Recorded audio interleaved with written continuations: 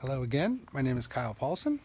Um, before you watch this video or any of the videos that I post, I ask again that you watch the introduction video. Um, so right now what I'm showing is uh, winch modifications.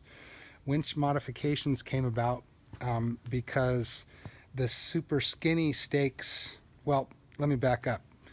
The ground that I fly in is very loose. It's very loose, it's very soft, and it's really easy for the winch to shift around.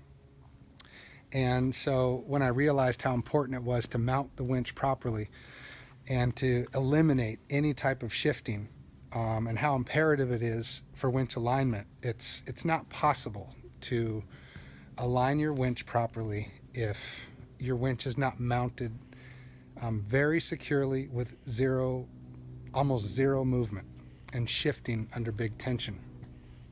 So what I had to do was make some modifications to my winch. I have yet to see any winches that come with these modifications. Um, the Obers come with really skinny stakes. I think it's because they fly on really hard dirt, very firm dirt, uh, all the time over in Europe. Although I have seen soft conditions over there. But if you're in really firm conditions, you don't need to make these modifications. But I recommend that you do because you never know when you're going to show up and fly in soft conditions. And so so I'll show you what I've done, um, different techniques. Um, these are just the most simple ones that, that I've come up with and that work great. So here is the first thing I do just to the winch is a typical Ober winch here, which so many of us have. Sorry, I should have taken this off first, just to show you. But all this is, is half inch, uh, is just channel. I believe it's half inch or one inch uh, iron, wrought iron channel. That's it. And then just put on with a couple nuts and bolts. Two half inch holes.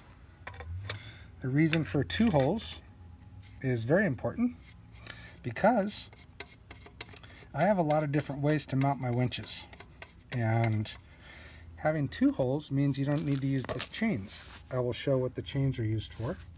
But if you have two holes, I can put one nail in there and one nail in there on both legs. And in a lot of conditions, that's going to work fine. If it's super soft, this is not enough.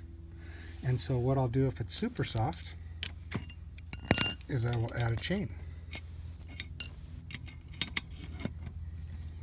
And then the chain comes back behind the winch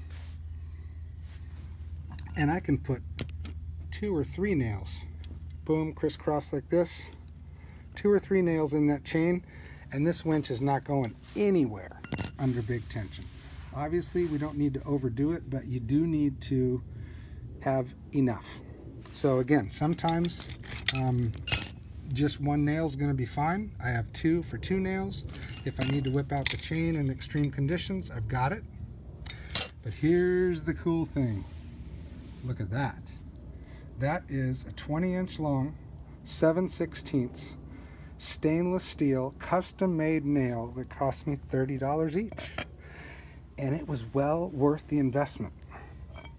I've got a really large head to hit because I'm not great with a hammer and so now I never miss. It also makes it super easy to pull the nail out with a claw hammer or with anything out of the ground. And the 7 16 does not flex at all. And because it's so long, um, it, uh, it, it goes deep enough into the ground so I have a really good secure mount. And with this, I only need one nail, one hole in almost all conditions. But again, if I needed to, I could still add the simple chain links, just four links, and add a couple more nails if I needed to.